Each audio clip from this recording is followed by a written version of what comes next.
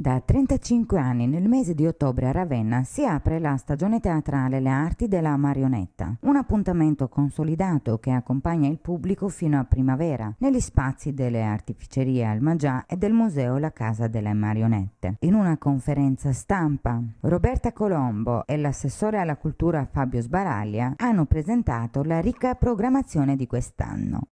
Siamo alla 35esima edizione, è una stagione di teatro di figura rivolta al pubblico delle famiglie, bambini e genitori che dall'anno scorso si è arricchita delle arti per la scuola, quindi ci sarà anche tutta una rassegna collaterale rivolta al mondo della scuola.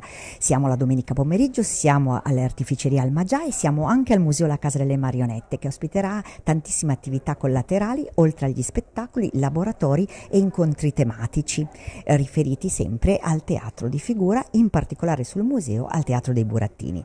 L'invito è rivolto veramente a tutte le famiglie di Ravenna, quest'anno grande novità, il biglietto sospeso e anche eh, per tutte le famiglie che sono state colpite dall'alluvione un particolare eh, biglietto eh, a un euro. Questa è, è diciamo, la nostra azione più forte eh, che ci sentivamo di, di, fare in questo momento in cui eh, la nostra terra di Romagna eh, sta soffrendo per, per tutto quello che ci è successo a maggio e che noi abbiamo sperimentato molto bene attraverso l'edizione del Festival a dal Mare. Però con grande gioia veramente apriamo di nuovo le porte del teatro con spettacoli dai due anni fino ai teenagers. Apriremo e inaugureremo con la coproduzione internazionale fra lo Jugendtheater di Speyer e il Teatro del Drago i tre desideri dedicati ai fratelli Grimm e questo spettacolo rivol- sarà rivolto anche alla fascia degli adolescenti. Questa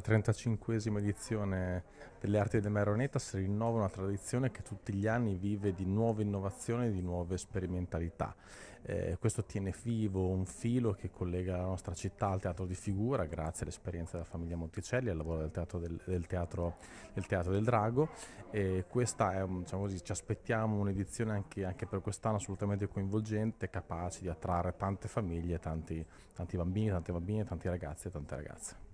Le arti della marionetta promuovono la straordinaria arte della figura, dedicando l'intero cartellone al pubblico delle famiglie con spettacoli pensati dalla prima infanzia all'adolescenza. Due le novità importanti di quest'anno, il biglietto sospeso a favore delle famiglie meno abbienti e il biglietto di un euro per tutte le famiglie alluvionate.